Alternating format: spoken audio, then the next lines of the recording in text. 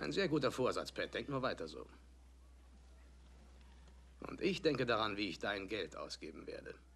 Das Einzige, worüber Sie nachdenken sollten, Mr. Bonney, ist, dass Sie bald vor Ihrem höchsten Richter stehen werden, der über Ihre verderbte Seele urteilen wird. Und nun hören Sie mal gut zu. Kurz bevor der Strick Sie straft, wird Ihnen die Erleuchtung kommen wie ein Blitzstrahl. Und Sie werden erkennen, dass das, was ich Ihnen sagte, die Wahrheit ist. Sie werden noch gläubig sein, bevor ich fertig bin mit Ihnen. Drei für dich. Woran glaubst du eigentlich, Bell? Nun, ich glaube daran, dass ich das bessere Blatt habe.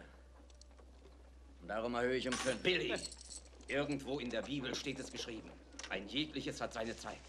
Die Liebe hat ihre Zeit, der Hass ebenfalls und auch der Tod. Aber jetzt ist es Zeit für dich, dass du Gott näher kommst.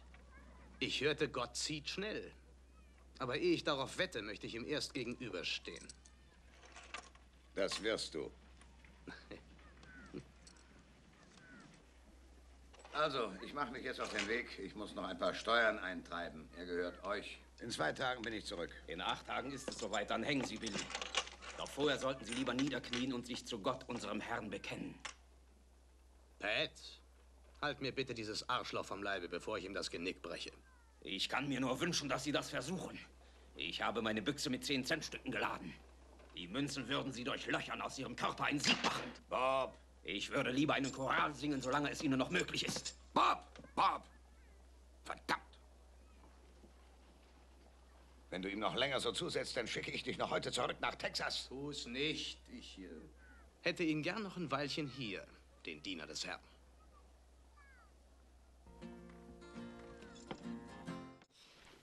Für diesen Vorsatz bewundere ich dich, Pat.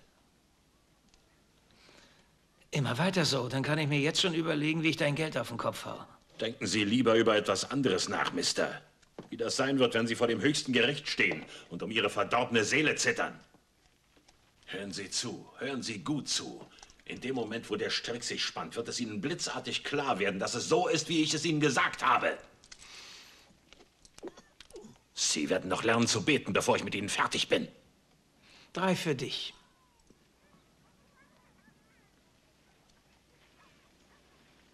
Woran glaubst du denn, Bell? Ich glaube, ja, was glaube ich denn? Ich bin äh, ein kleiner Mann und mache meinen Job. Und außerdem glaube ich, dass ich von dir was sehen will. Und erhöhe auf fünf. Billy, irgendwo in der Bibel steht, es gibt für alles eine Zeit. Eine Zeit zum Lieben, eine Zeit zum Hassen, eine Zeit zum Töten. Aber jetzt ist die Zeit, wo Sie sich mit Gott auseinandersetzen müssen. Ich habe gehört, er ist schnell.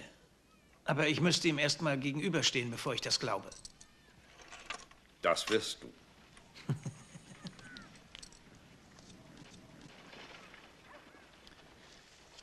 Und du, Bob, woran glaubst du noch? Außer an Gott. An mich.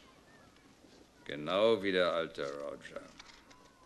Der hat auch sein Leben lang die Meinung der Minderheit vertreten. So, ich muss dann wieder mal was tun. Ein paar Steuergelder kassieren. Macht's gut. In zwei Tagen dann. Noch acht Tage bis zum letzten Morgengrauen. Wird Zeit, dass Sie in die Knie gehen und sich vertraut machen mit Ihrem Herrn und Meister. Pat? Halt mir bloß dieses Quatschmaul vom Leib oder ich mach Puppendreck aus ihm. Von mir aus soll mir recht sein. Versuchen Sie es. Ich habe hier im Lauf 16 dünne 10-Cent-Stücke. Machen Sie eine falsche Bewegung und ich mache ein Sieb aus Lass Ihnen. das, Bob! Singen Sie das hohe Lied des Herrn, bevor es zu spät ist. Bob, Bob! Verdammt! Wenn du noch mal so mit ihm umspringst, muss ich dich zurückschicken nach Texas. Nicht nötig. Ich hätte nichts dagegen, wenn er hier bleibt.